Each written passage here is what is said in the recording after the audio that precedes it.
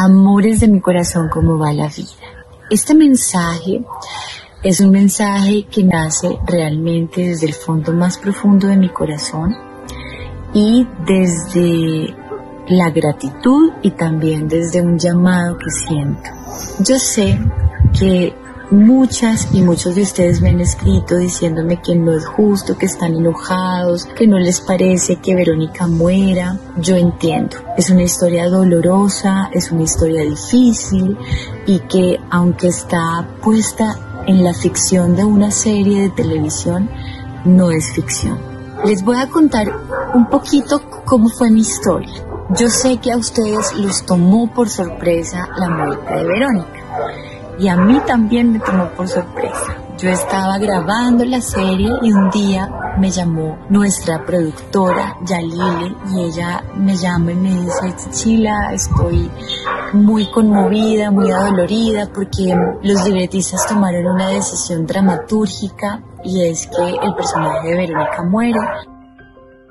Yalile eh, me decía, bueno, la serie está, digamos, centrada en la paternidad Toño es un personaje que necesita una lección, una lección fuerte y necesitamos reivindicarlo y que él pueda reivindicar la paternidad. A mí me habría encantado que Verónica, como representante femenino, hubiese podido realizar los sueños que tenía, ¿verdad? Porque es una mujer que se estaba empoderando, que estaba logrando eh, hacer su propia historia y ser exitosa desde el lado de la mujer, yo diría, wow, qué rico y, y qué duro que muera y no pueda realizar esos sueños. Digamos que eso lo entiendo y es, lo, digamos, uno de los mensajes más reiterativos que he recibido desde el momento en que murió Verónica. Yo no me quiero centrar en la discusión de la ficción de la serie. Y esa es la invitación que yo les tengo hoy. No nos quedemos en la ficción. Yo creo que esa realidad de las mujeres no es ficción. En nuestro país hay muchas mujeres y en el mundo muchas mujeres que viven violencia en sus hogares, violencia psicológica, física. Yo he recibido no saben la cantidad de mensajes de mujeres diciéndome a mí me pasó y lo superé o diciéndome a mí me está pasando. Hasta fotografías me han compartido de sus luchas diarias en la vida. Entonces yo digo, como actriz, por Dios, yo tengo un llamado gigantesco y es...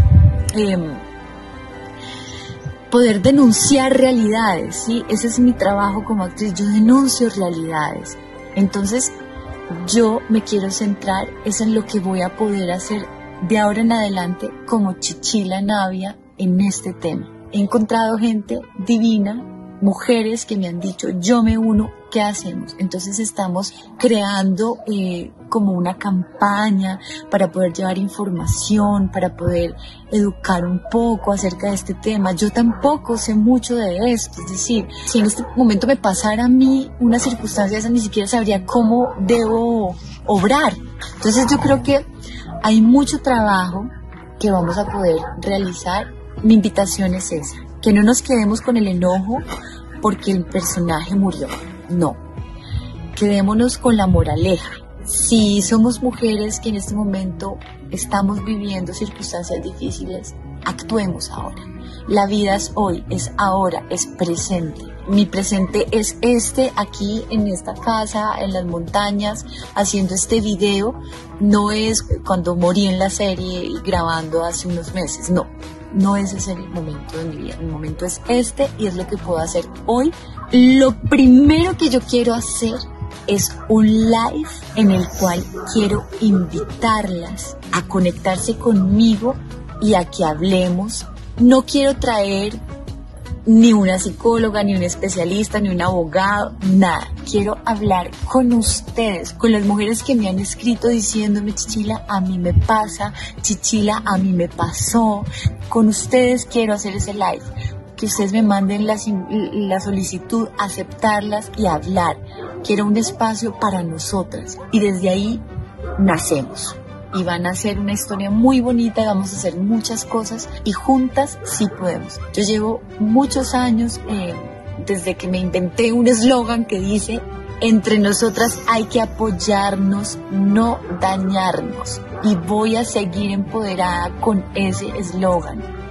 Vamos a apoyarnos, no a dañarnos. Entonces, nos vemos en el live y ahí nos vamos a conectar y de ahí van a nacer muchísimas gestiones y muchísimas cosas que vamos a poder hacer. Agradezco cada uno de sus mensajes por recibir con tanto amor y, digamos por todos los piropos divinos que recibí por mi trabajo en Paquererte. Para mí fue un grandísimo honor poder representar a esta mujer que es el reflejo de muchas mujeres y también es un dolor muy grande.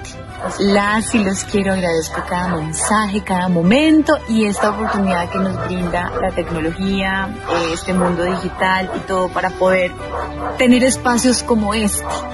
Eh, aquí sigo eh, con todo mi corazón porque yo creo que sí se puede. Se puede, se puede, se puede. Besito.